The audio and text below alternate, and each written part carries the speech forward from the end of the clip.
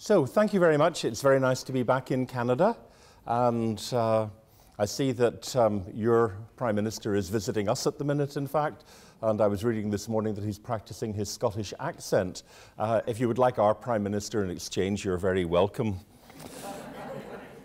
I think we would certainly benefit from the swap. But anyway, uh, so what I want to do is to really put us into a global perspective and just reflect briefly on what we're all trying to achieve. Everyone working for, um, well, peace, order, and good governance, as you say in Canada, but basically a better world. And the agenda for doing that as we move forward from 2015 to 2030 is the Sustainable Development Goals.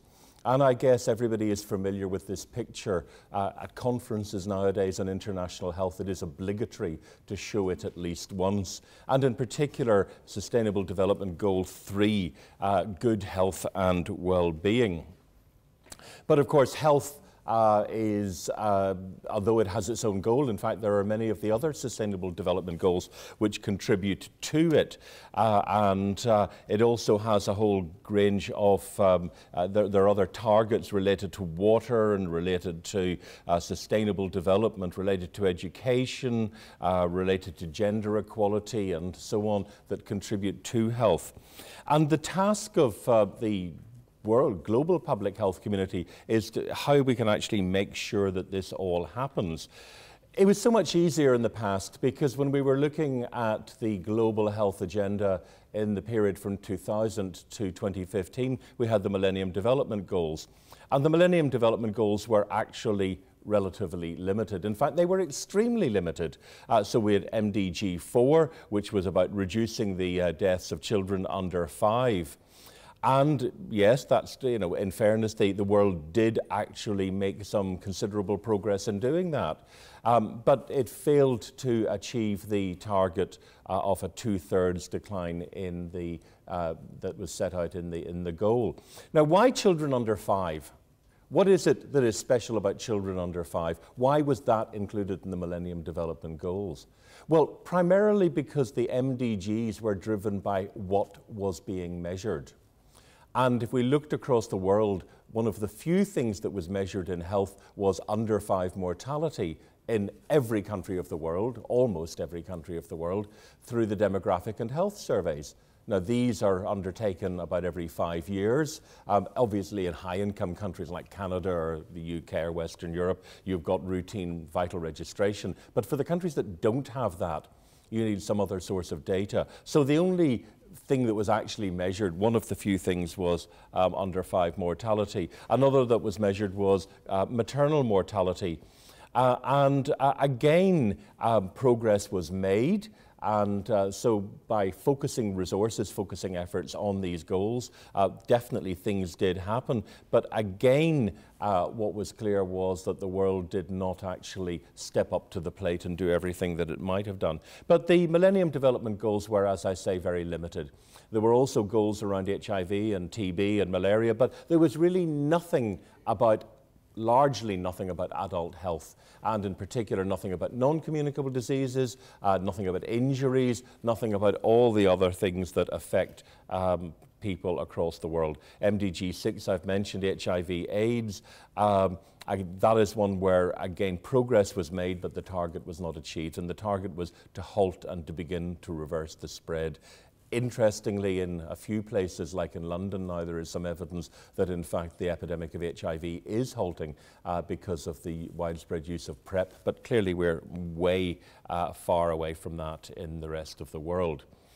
So we have the Sustainable Development Goals, and the Sustainable Development Goals, there is a, a, UN Statistical Commission interagency expert group that is trying to develop indicators uh, for this uh, to monitor progress. And the SDGs, as I said, go far beyond what we had. We'll look in, in a minute at what the health ones were uh, 230 indicators, 169 targets. And this is going to be an absolutely enormous effort uh, because, of course, there are huge data gaps in many countries. There are problems of comparability. There are parts of the world where we know almost nothing about what is happening. Uh, parts of the world like South Sudan, where perhaps a million people have fled their homes recently.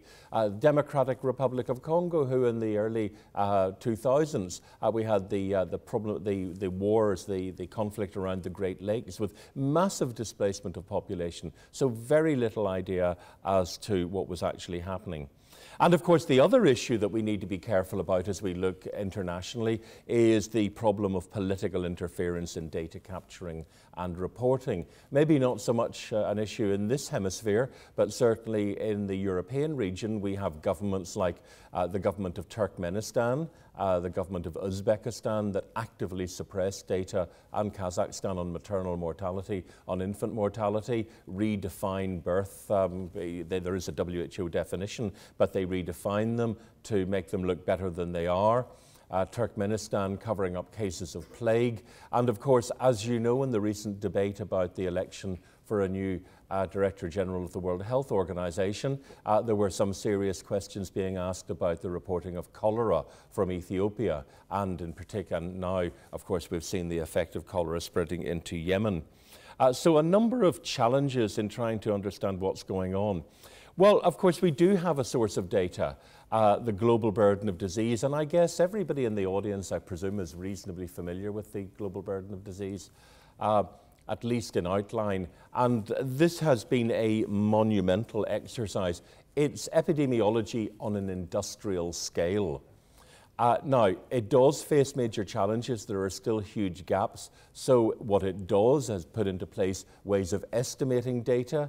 Uh, if I tell you that one of the last papers that was submitted to the Lancet had 4,300 comments from the authors involved in it, uh, and that just gives you some idea of the scale of this work, the amount of work in looking at every country, looking at all the data, a, massive effort of almost 5,000 people who are feeding data into the system, um, who are reviewing the data, working on the modeling, trying to make sense of it, and so on.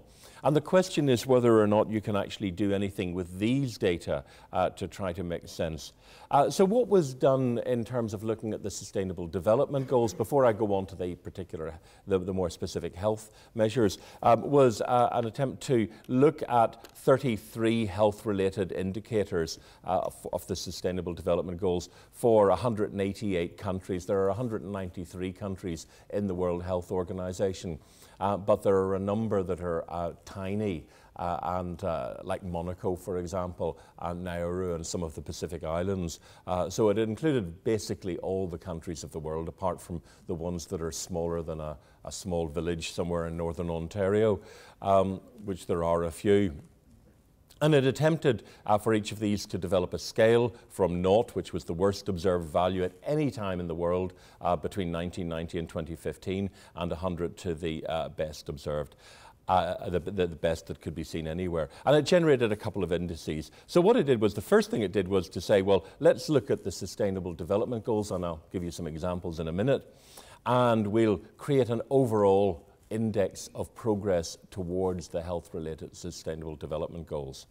But then let's divide them up and divide them up into those ones that were covered by the Millennium Development Goals, because we would expect that the ones covered by the Millennium Development Goals might have done better in the period up to 2015, because that was where the attention was being focused and then the other ones which were not included in the Millennium Development Goals. Because we always know that if you're measuring something, if you're reporting on it, you will devote attention to it.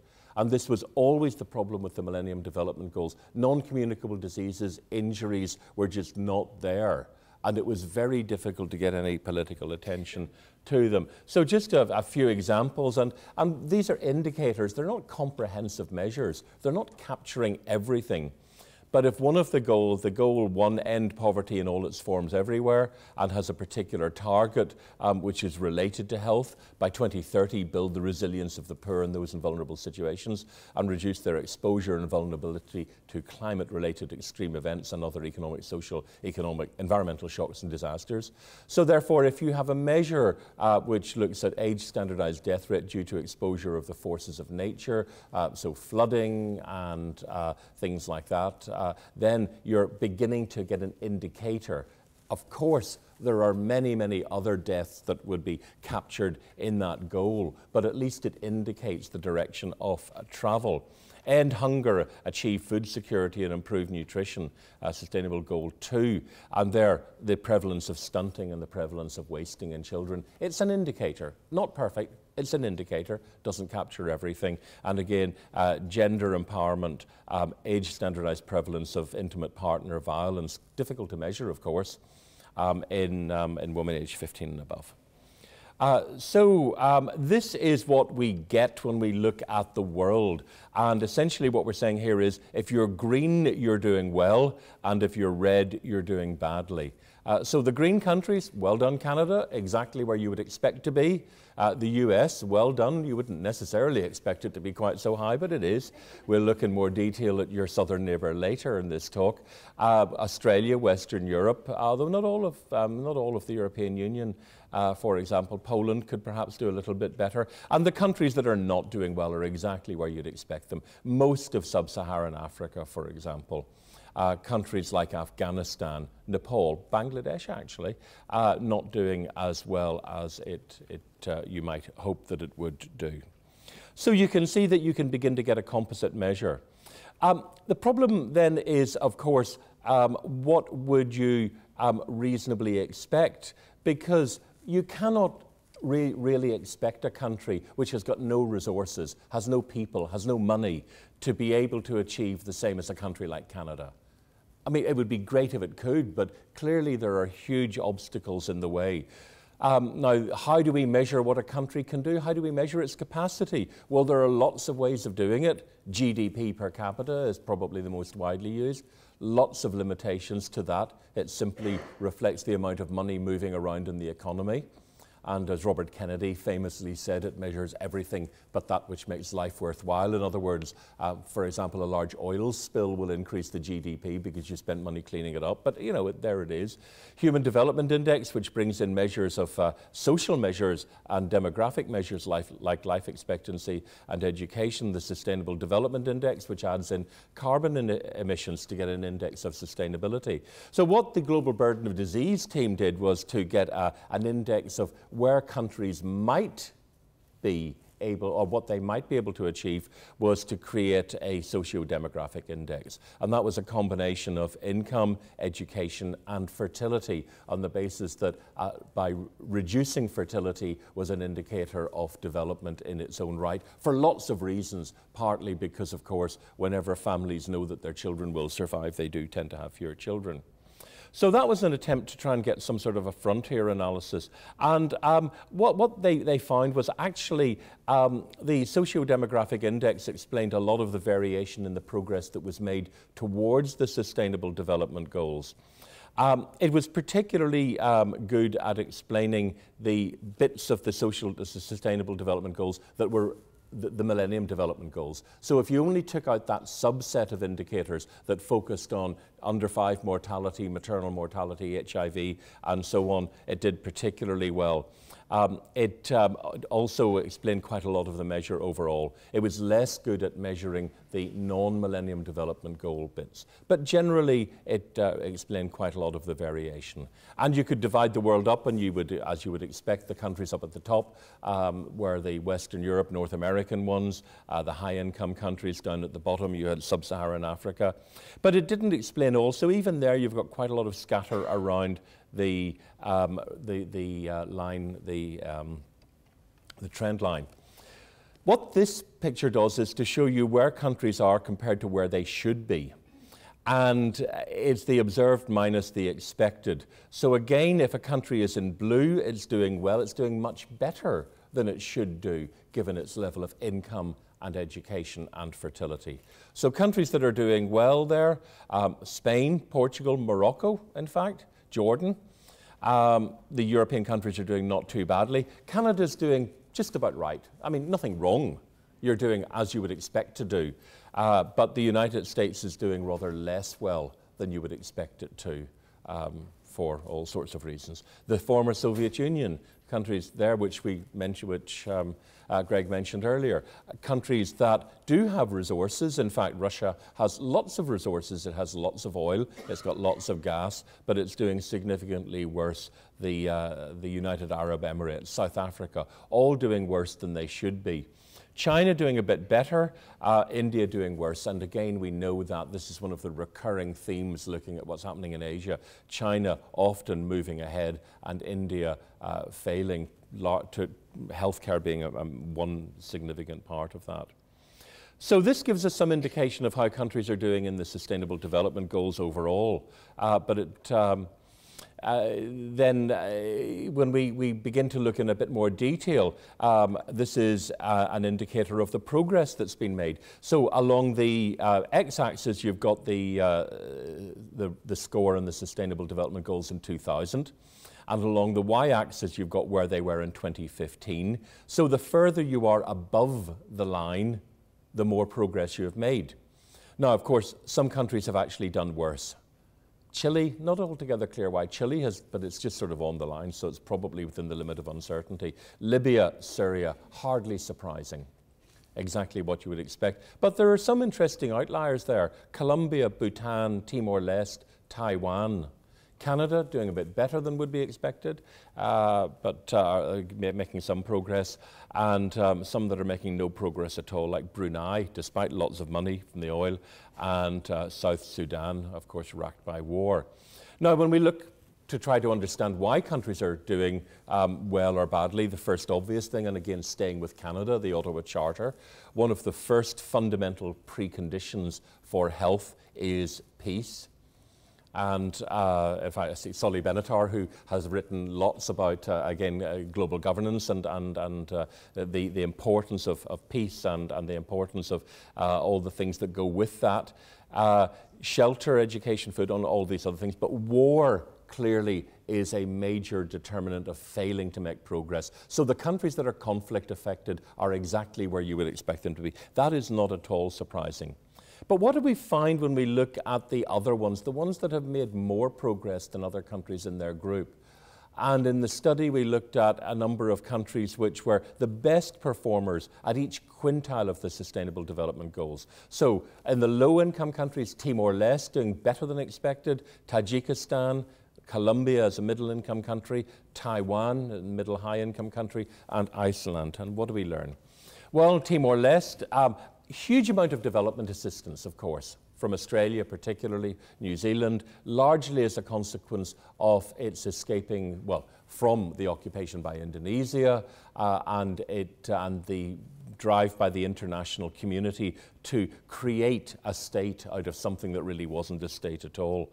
Um, and I guess you all know that Timor Leste was originally a Portuguese colony, was occupied by Indonesia in the period after the Portuguese Revolution. Um, there was essentially a genocide there, and uh, there were huge problems. And then when it became independent, it had enormous challenges to overcome. But healthcare reform was there. It had a lot of external support from many Western countries.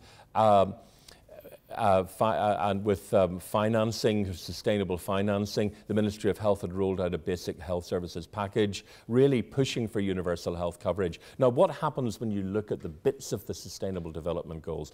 Good in terms of um, measures of universal health coverage. It made a lot of progress with skilled birth attendance, um, modern contraception, reducing under five and neonatal mortality and childhood stunting, sanitation, and clearly mortality from war and conflict, but it had problems. And again, what we're seeing in many countries is this epidemiological transition, still seeing children with stunting, but also seeing a growing uh, problem of childhood obesity. Uh, after conflicts come in, the international tobacco companies move very quickly, and you have the problems of smoking, and similarly with alcohol. So these give some clues as to what countries had done to achieve things. Tajikistan, again emerging from a civil war. Um, and um, it focused in particular on malaria uh, elimination. It had many problems. Tajikistan is in the WHO European region, but only by accident. It's there because it was a republic of the Soviet Union. It is in every other, uh, in, in, all appearances, like Afghanistan, which lies across the border.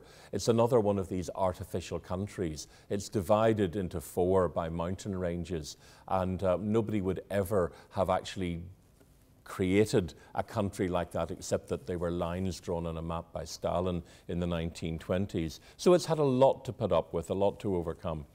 um, still struggling with the concept of democracy, but it has made progress in childhood mortality and stunting. Again, a lot of international development assistance, um, reducing NCD mortality, violence, improving hygiene, but again, seeing problems of the emerging uh, childhood obesity. Colombia, we look in the middle of the range, and uh, Colombia has actually done a lot in terms of its expansion of health insurance. I'm not sure, maybe some of you here work in Colombia. We, we do, in fact, in the meeting I have in, in um, Niagara.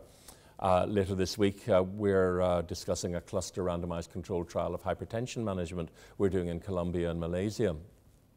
And uh, the uh, health system reforms have made a, a, a, huge difference, but there are still problems. There are still a lot of gaps. We've done work looking at the experience of patients as with hypertension as they understand the health system, as they see it, as they try to navigate uh, through it. Um, problems with alcohol consumption, still problems with Hep B. But you can see lots of areas where they really have made progress. And here we're beginning to see we're beginning to see more of a public health response because with the other bits, it was universal health coverage, getting very basic services out. Taiwan, like Korea, uh, like a number of countries in East Asia, uh, introduced a uh, universal health coverage in the 1990s. It has a very active public health program. The Public Health Bureau in Taipei, some of you might know um, some of the uh, people who work there uh, has really been in the forefront against tobacco, alcohol, physical activity, but also has implemented national health insurance. This is a paper that we published a few years ago where we looked at the impact of that on amenable mortality, something we'll come back to later. And you could see that by expanding coverage of healthcare, they made a real difference in terms of mortality. But even at the very top, even some of the healthiest countries in the world can still do better. Iceland, a country where everything works, despite the fact that it's winter for about 10 months of the year, uh, with the highest level of social capital you will ever see anywhere. Because if you go there, if you fly on the plane from London or from uh, Copenhagen, everybody on the plane will be greeting each other with the, the bless, the word that uh, they say in, in, Icelandic, because actually everybody in the plane knows one another, including the pilot and the crew. Uh, it has a very small population, um, very high level. They actually had a murder recently. Uh, which is almost exceptional. The murder was committed by two uh, Greenlandic fishermen. Uh, they weren't uh, Icelandic who committed the murder, uh, but that, that is pretty exceptional there. And it does extremely well in all sorts of ways. Um, but again, um, it has problems with alcohol, with uh, obesity. But the, the point is that here is a country that's doing exceptionally well in healthcare. But let's come back to the Sustainable Development Goals. oops, uh, yeah. Uh, and let's, uh, sorry, let's come back to healthcare. Because what we've seen as we look at the countries is they've made progress in the Sustainable Development Goals in terms of public health interventions, maybe not as good as they might have done, and they've made progress in terms of expanding healthcare. But can we really focus down now on healthcare? And we actually do need to do that because if we look at the SDG targets, well, first of all, there's an awful lot of them. So these are only the health ones. So you can see the same things that we had in the MDGs maternal mortality, childhood mortality, newborn mortality, neonatal mortality, epidemics of AIDS, TB, malaria, neglected tropical diseases are now in there. They weren't there before. But now we've got non communicable diseases coming in. And this was one of the major criticisms of the Millennium Development Goals. NCDs were coming in. Premature mortality, now there still is a big argument raging over premature mortality under the age of 75. A number of us have been campaigning and saying, well, there are people over 75 who should be considered as well. Um, some of them, I suspect, in this audience. And um, you will be pleased to know that we're not neglecting your interests. Um, Martin Prince and Shah Ebrahim and uh, Peter Lloyd Sherlock have been mounting a campaign to look at the health of older people um, as people like me get progressively towards that age. Of course, it's uh, not entirely altruism, there's a degree of self interest. Um, narcotics, alcohol, substance abuse, road traffic accidents neglected for a long time, sexual and reproductive health, well, that was sort of always there. But then we have this other goal achieve universal health coverage including financial risk protection, because, of course, remember, one of the main arguments for universal health coverage is to pre prevent catastrophic expenditure. Um, access to quality essential health services, um, essential medicines and vaccines for all. And then there's a whole series of others about pharmaceuticals and the health workforce and so on. So here we have a target for universal health coverage, and we need to be able to measure it. Because if we can't actually capture it in any way, then what are we going to do?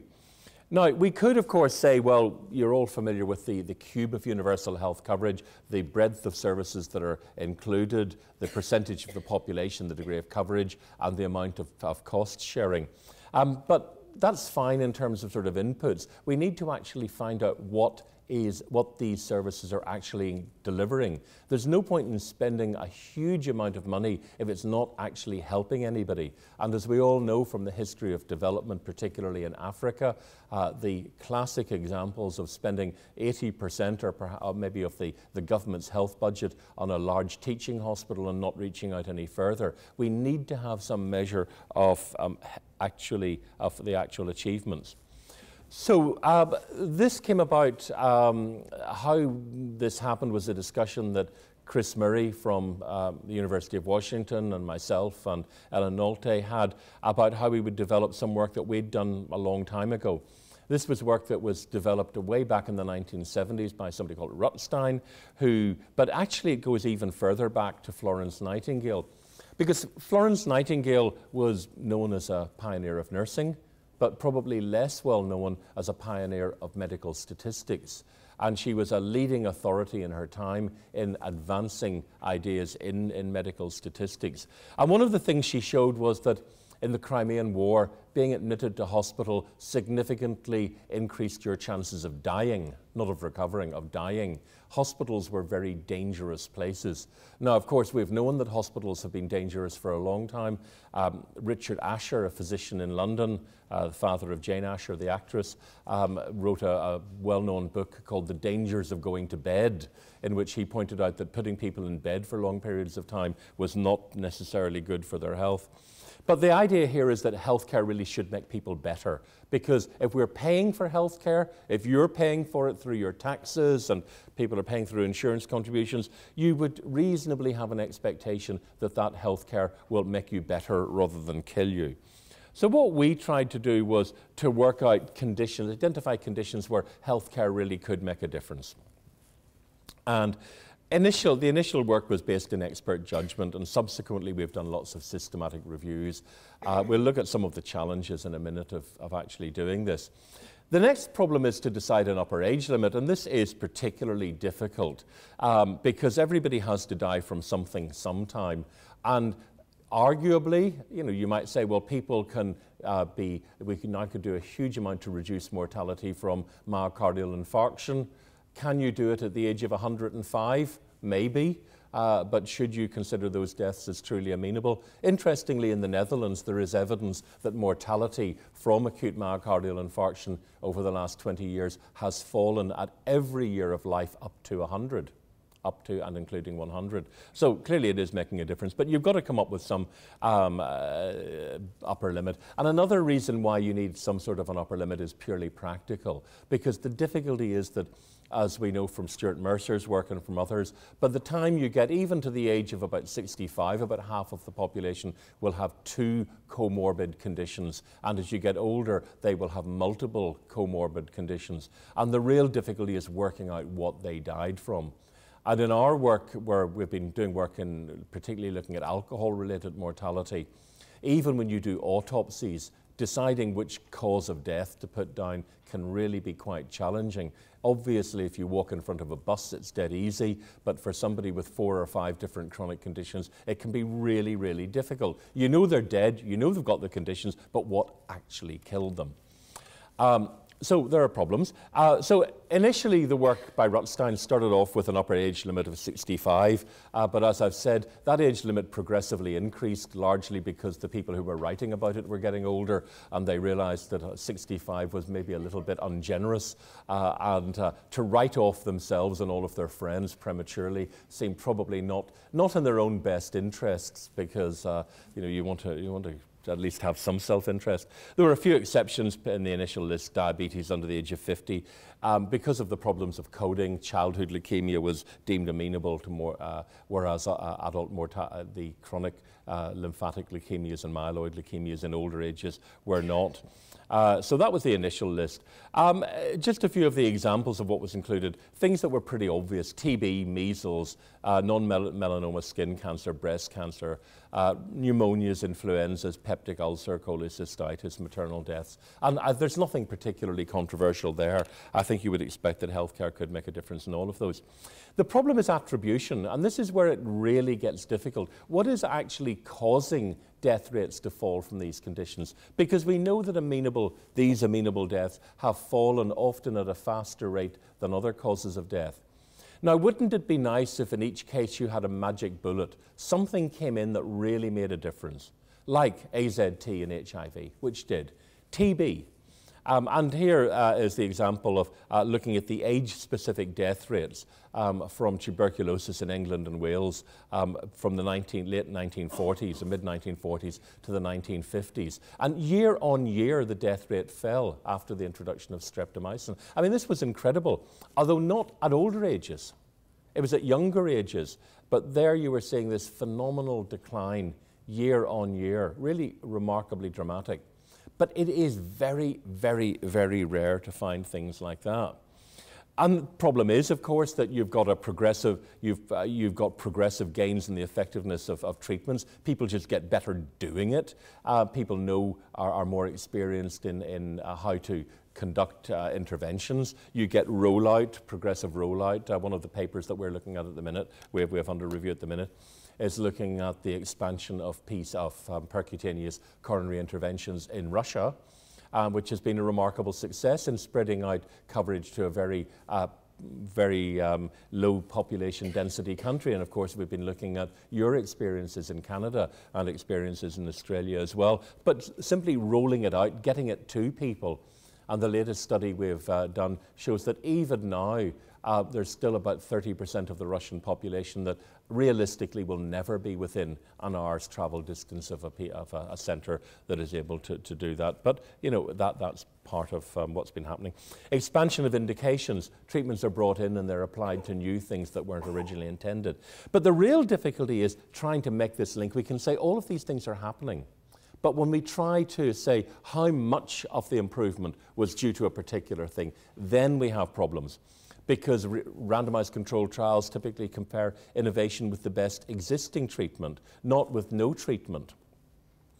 Randomized controlled trials are undertaken on highly selected subjects by highly uh, selected practitioners in highly selected centres, like some of the ones around here.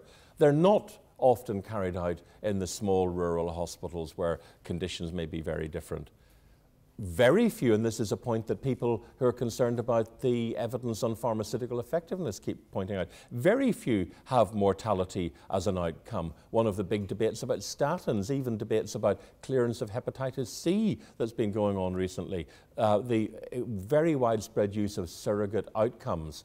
Um, looking at HbA1c as a measure of diabetes control. It's fine as a measure of diabetes control. Does that translate into reduced mortality against diabetes?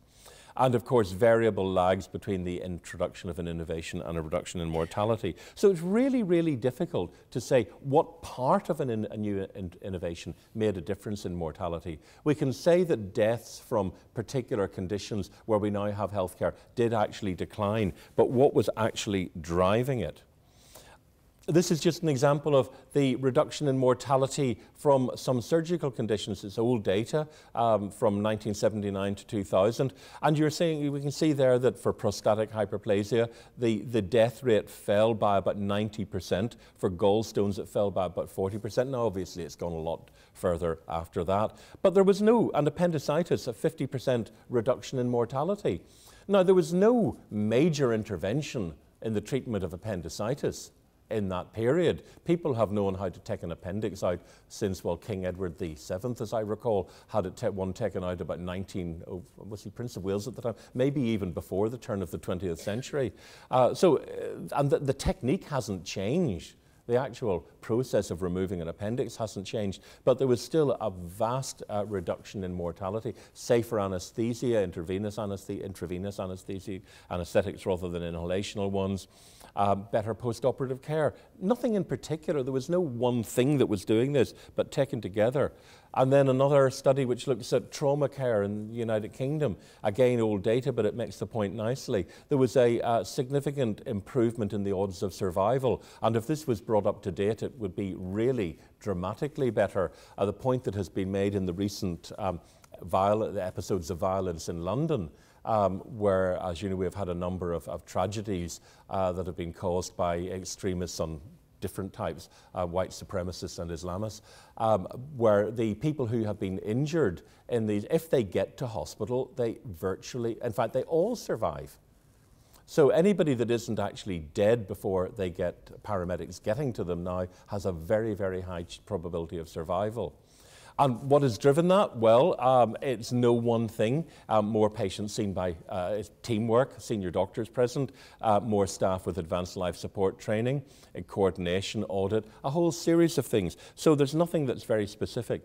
And then, of course, coverage and quality. Now, I always do like this slide because um, this um, looks at your southern neighbour, and this is where we looked at amenable mortality uh, by race and by state in the United States. Now, of course, not surprisingly, there are differences. You would expect there to be differences in outcomes between Vermont and Mississippi, and you see that.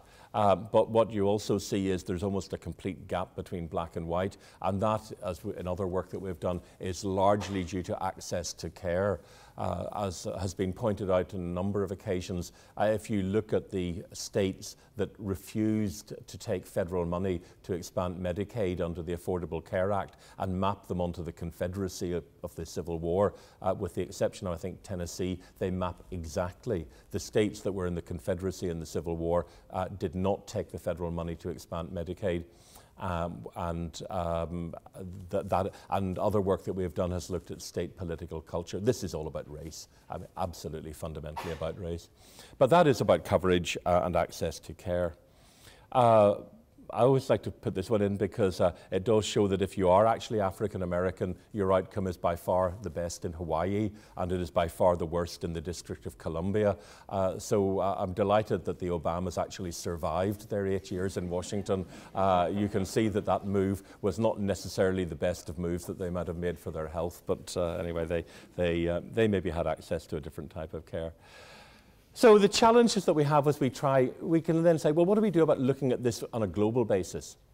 Um, we look at, we can try to um, see we, we, the work that's been done in amenable mortality has virtually all been done in high income countries.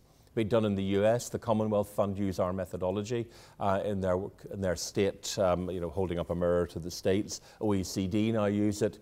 Uh, the British government use it, uh, and, um, and so on. But the problem is, of course, the rest of the world. And the difficulty there is getting any decent data. There are problems of incomplete and absent registration, so called garbage codes, which are codes that don't really mean very much, uh, like dying from old age and things like that. But there's another problem because in all of the work that we did, we never really adjusted for underlying risk factors. We just said, well, basically people should not die at all from these conditions. But in fairness, it is easier to reduce the death rate from a condition if you actually uh, have a lower risk factor burden to begin with. So it's always going to be easier to reduce the death rate from ischemic heart disease in Spain than it is, for example, in Russia. I mean, that's just natural because there's so much less ischemic heart disease. So you need to uh, do something about that. And then the challenge of trying to capture variations within countries. So the Healthcare Access and Quality Index, this is the main thing I'm going to talk about. Uh, but uh, so what we, we did, uh, what was done in, in, the work with the uh, colleagues in Seattle was to take uh, 33 causes of death uh, that we had identified as amenable to healthcare and to map them onto the categories that were used in the global burden of disease. Um, there were a couple that were not included because they just didn't map on easily into the high level, uh, the, the, the, high level targets, and diphtheria and tetanus because of their burden worldwide. Um, they were taken separately. We'd group them together because in high income countries there are hardly any of them. Um, but if you're looking on a global basis, they're, they're separate. And um, the GBD team then took account of the problems with cause of death certification. Now, of course, they have this vast data set with vital registration, with sentinel surveillance, um, with verbal autopsy data, with um, census data, with every kind of data you could imagine. And they also have a means of estimating data where they don't have it by looking at other predictors. Lots of questions about that, and we could talk for hours about the estimation processes in the global burden of disease. And there are limitations to the data, but they do have data. And um, they have ways of uh, adjusting for misclassification and particularly garbage codes. But this is where the real breakthrough came because they were able, with their massive computing power in a way that we never could have done, was to take account of the risk factors, to try to take out the local risk factors, uh, the levels of lipids, the level of smoking, the level of whatever, and take out the national figures and then put back in the global figures for that. So, in effect, you were risk standardizing for the whole world. So every country was being given a value which was adjusted for the, the level of risk factors. And then they used principal components analysis to create a single measure. And again, what they did was to say the highest value for any country in the world, any country in the world with a population of um, over a million because clearly you could get fluctuations in the smaller ones. But for, if you got a, value on a particular measure that was that the highest anywhere, that was the, the maximum, that was 100. And the worst that anybody had anywhere during that time was zero. And then you scale everything in between. And then they calculate, they had a look at, well, when we get this index, um, does the index actually correlate with other measures of inputs into healthcare. And yeah, it did actually work quite well. Health expenditure per capita uh, uh, are of uh, 0.88. Um, an index of other interventions, access to antenatal care and things like that, 0.83. Um, physicians, nurses, health, human resources for health, 0.77. So it, it was doing pretty well. And we wouldn't expect it to those to predict all of the, the variation. If they did, there would be no point in even developing this index. Clearly, there has to be some fluctuation. But the next question is rather like with the Sustainable Development Goals, it's not just how well countries are doing, but how well might countries do. What can we reasonably expect them to do? And again, a frontier was developed using the same so- socio-demographic index. And based on the socio-demographic index, the highest value of any country um, with that level of socio-demographic score was set as the frontier. If that country could do it, every country should, theoretically, be able to do it.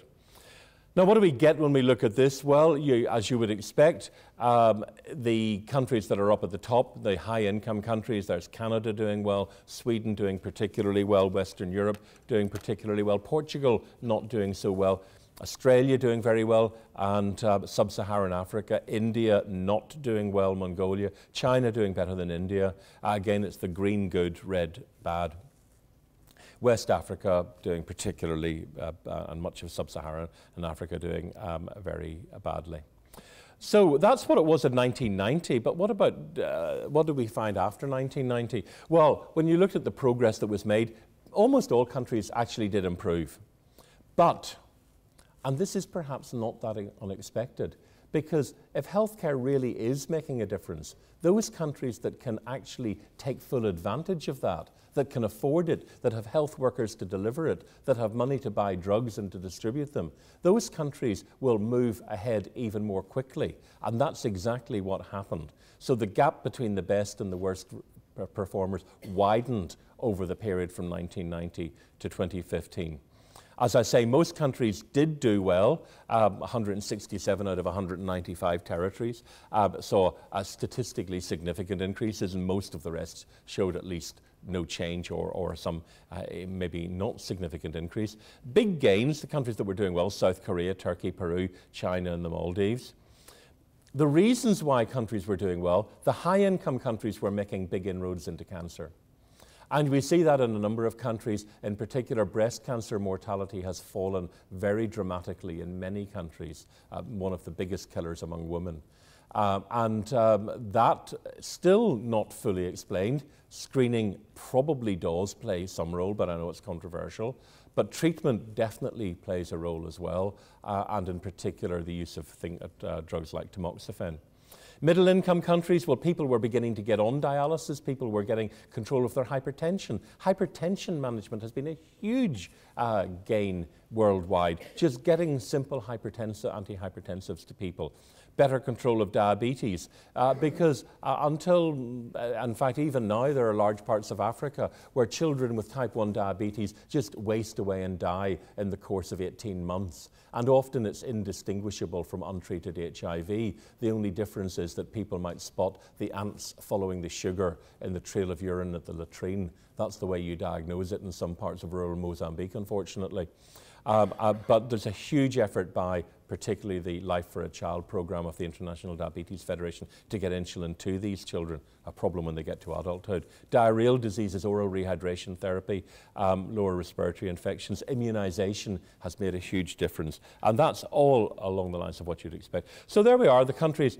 If we look at the, the bottom, the x-axis 1990, the y-axis uh, is uh, 2015 almost everybody's done better, and the, the, uh, there are error bars associated with that. But you see there South Korea, Turkey, China, China and Peru, and, and uh, Maldives, as I've already mentioned. So this is the picture by 2015.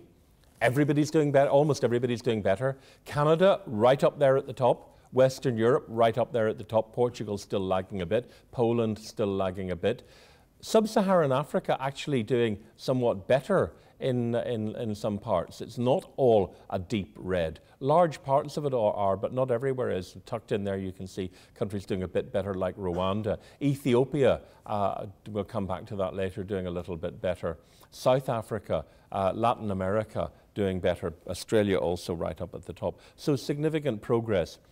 Now, what you can also do is, of course, then take the data from the uh, index, and you can look at how different conditions are. Now, it was impossible to get this onto a slide that would be readable, so do forgive me. But what this basically does is it's got along the top, the, um, the first column is the index itself, and countries are ranked in terms of their score in the index. So I've taken the ones right up at the top, Andorra, Iceland, Switzerland, Sweden, and the one with the red uh, around it is Canada. So yeah, pretty good.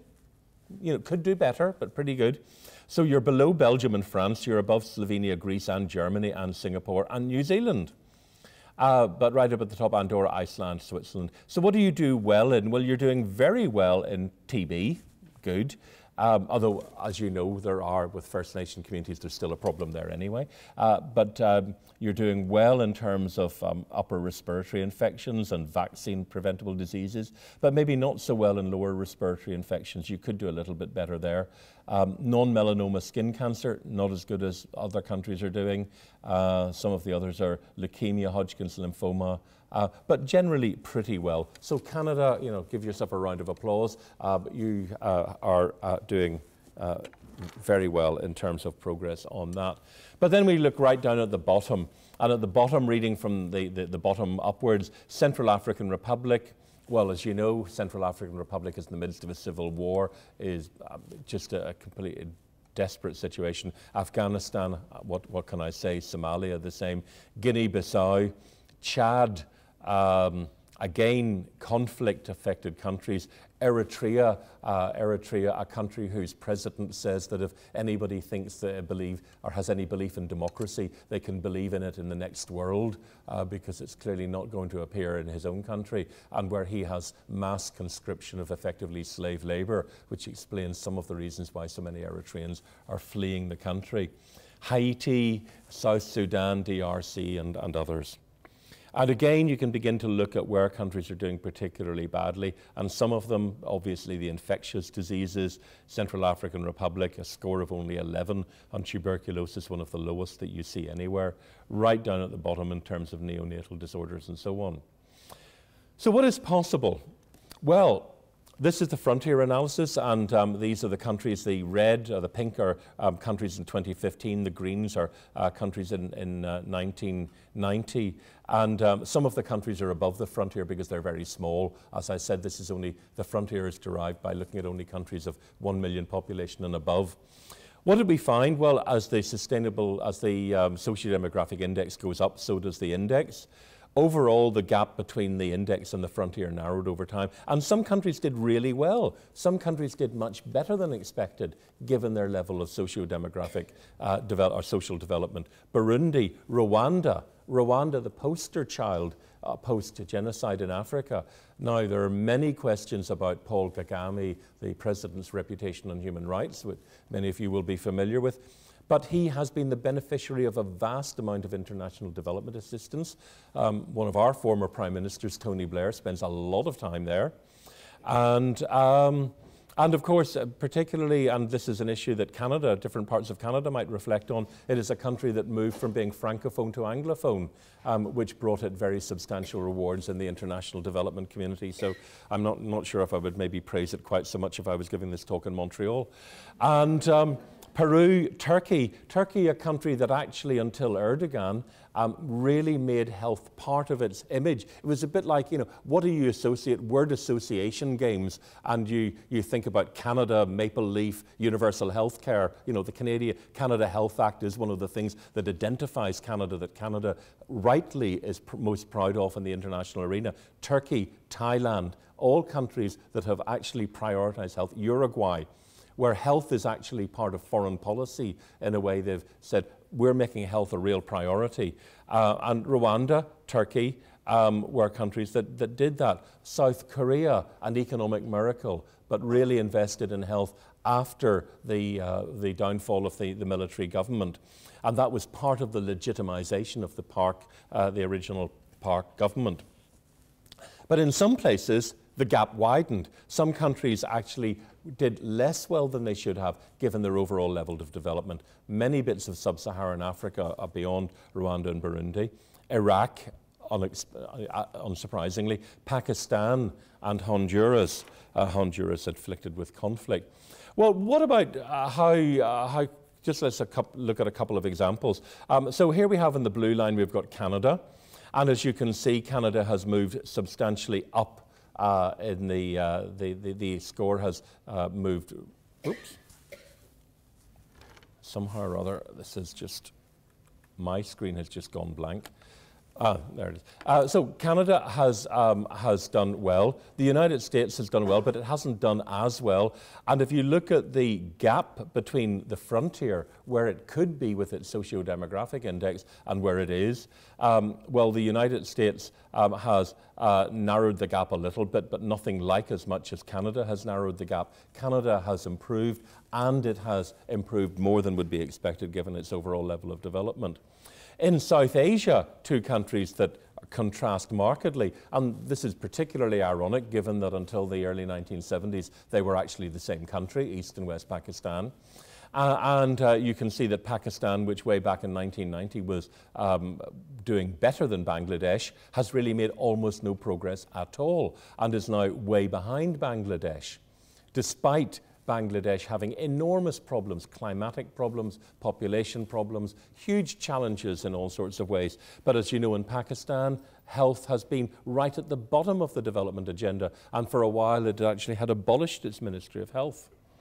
In Africa, we can see again two countries, one starting far below the, the, the other, Ethiopia, some of you will be old enough to remember the famine in Ethiopia in the 1980s. This was a disaster uh, on a monumental scale, and it brought about a huge response, uh, just a complete paradigm shift in how development assistance was viewed in the West, with Bob Geldof and others. Um, setting up Live Aid. But look at the progress that Ethiopia has done compared to the very limited progress in Kenya. Now, there's much more to this because in Kenya, ha Kenya has always had problems. Another comparison I could have done is with Tanzania.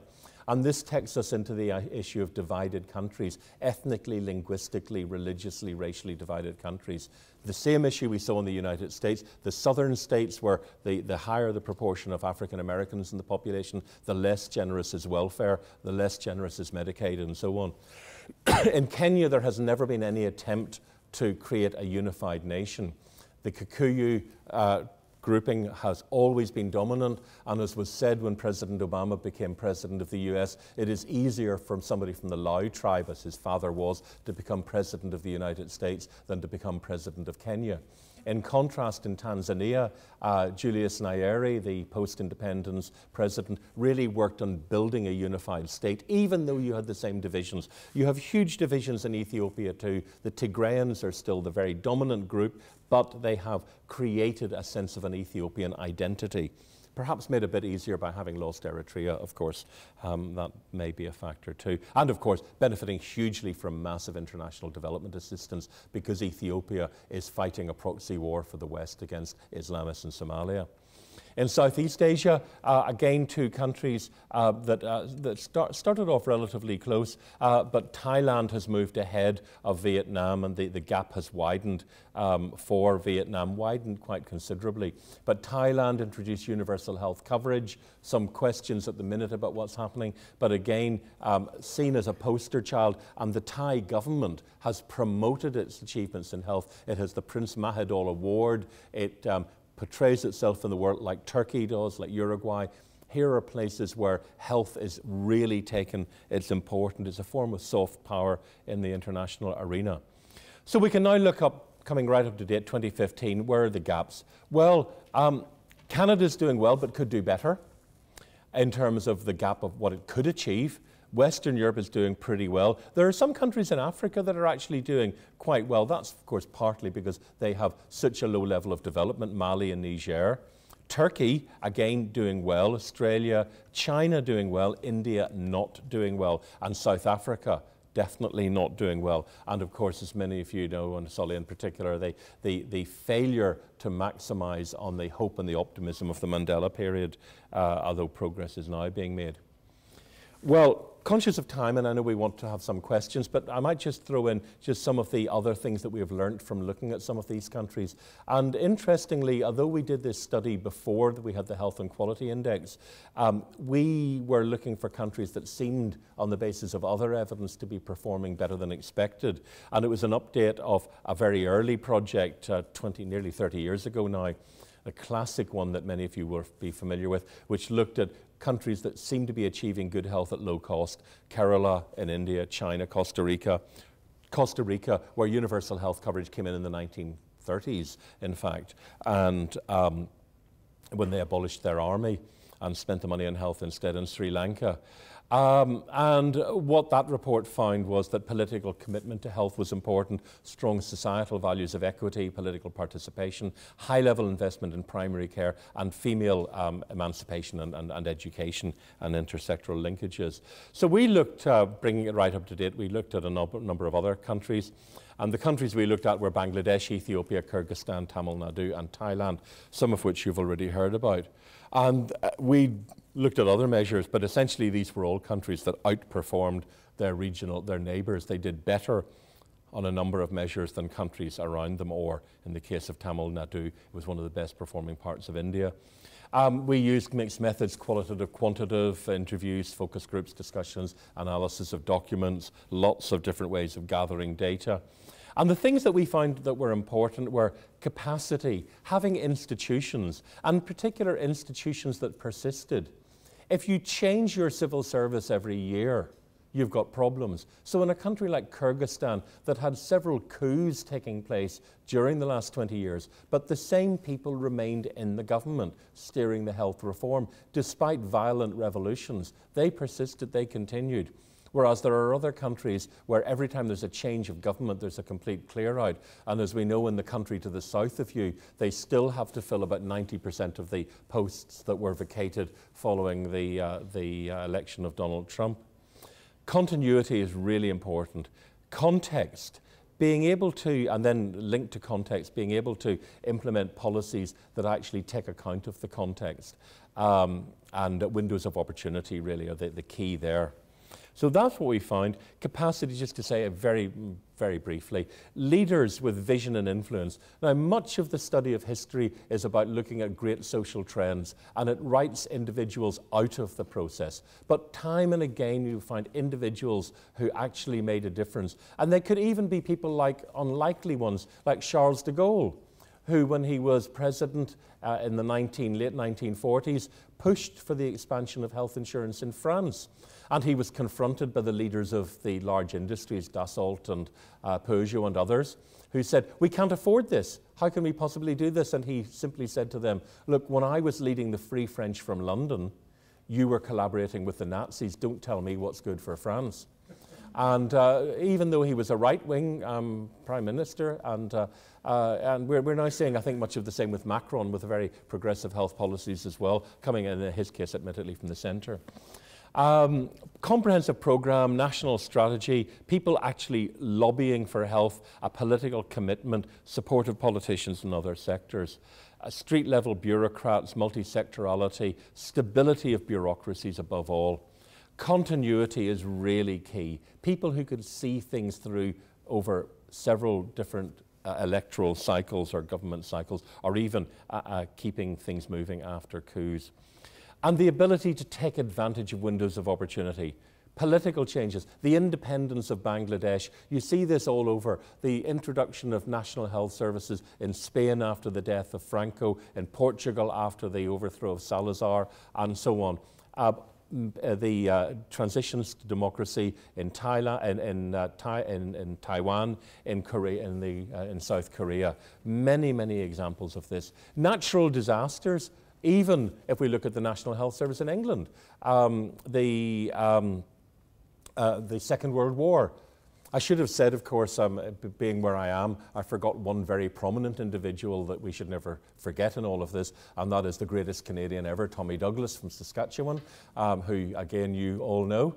And um, that is an example of an individual who had a remarkable effect, and actually an effect, an impact which went well beyond Canada, because, of course, he's still uh, very much admired uh, in the rest of the world as well. Um, geopolitical interest in aid flows. Ethiopia has benefited particularly. Kyrgyzstan benefited. Kyrgyzstan was unusual during the uh, war in Afghanistan in having two air bases run by other air forces, one by the US Air Force and one by the Russian Air Force. Um, and so it traded off the two, it kept the two um, in competing to give it money and uh, seizing windows of opportunity making sure that policies are appropriate for context, they're evidence-based, um, they're linked to uh, economic strengthening, um, able to, the ability to draw on resources from a wide range of, um, of sources. And resilience is absolutely key because many of these countries have gone through real crises and they've been able to keep things on, um, on the road despite all of that. So, what do we think in terms of all of that? What do we believe is, final slide, a successful health system? A country that has a vision and long term strategies. It takes account its context, it takes account its starting condition. Do not try and put in place a complex financing system if you don't have a banking system in place, because it's not going to work. Be, remember that some of the biggest challenges in creating health insurance are, um, are bringing in agricultural workers. Social insurance of the Bismarckian model um, that was introduced in Western Europe, that worked because you had trade unions and employers associations working together.